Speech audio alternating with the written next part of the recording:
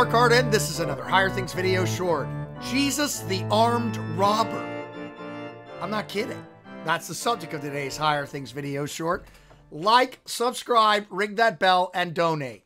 If you love what we're doing in HT, if you higher things, if you love us passing on the faith to the next generation, like our videos, subscribe to the channel, ring the bell uh, to get notifications on our videos, and donate. I think the donate thing is right here.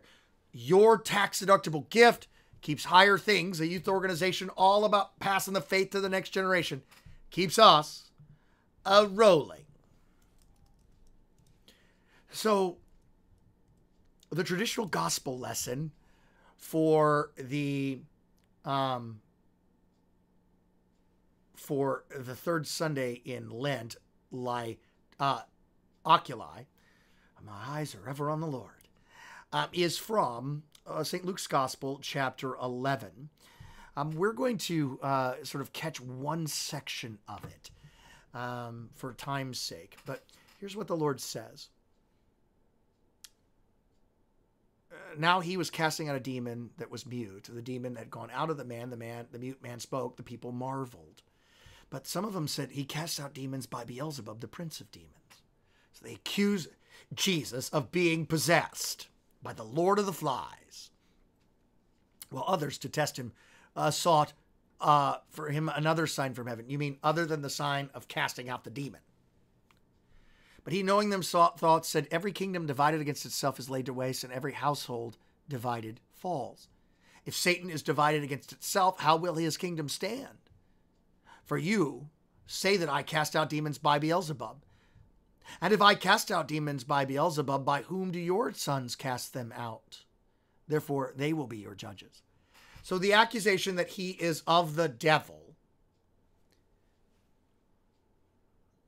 doesn't mesh with how this war with the devil is going.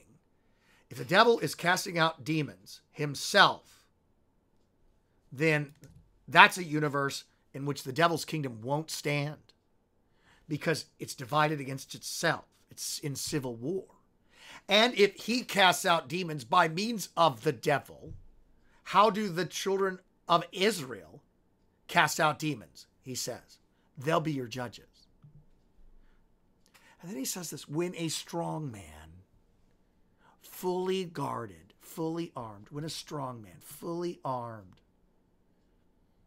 one who's equipped, guarding his own place, his own house or farm or the like. He's, he thinks his goods are at peace or safe. But when someone stronger comes and attacks him and Nikes him, that's the word used here, he overcomes him, he, he's victorious over them. He takes his panopleon, his full armor.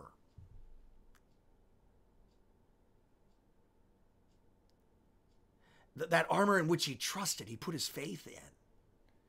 And he divides, he distributes, he gives through his uh, skula, his spoils, his plunder.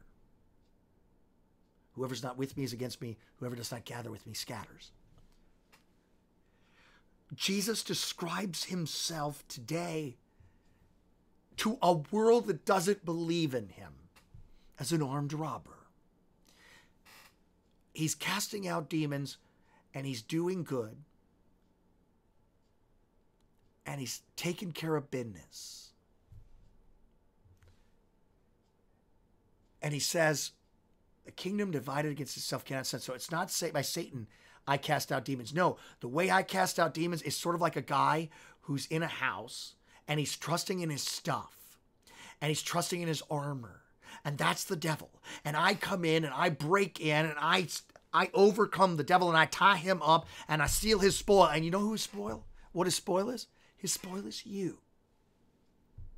I take you from him.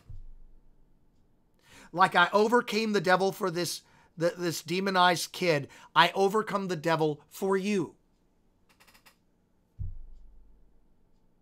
I take you away from him because I'm stronger than him.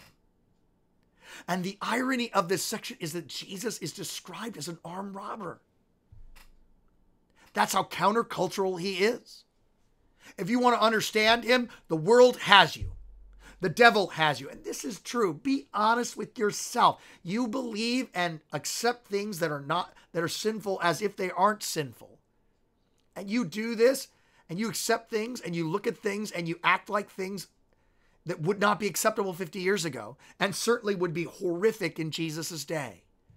And Jesus has come in through your YouTube, through your service, through church, and he has stolen you.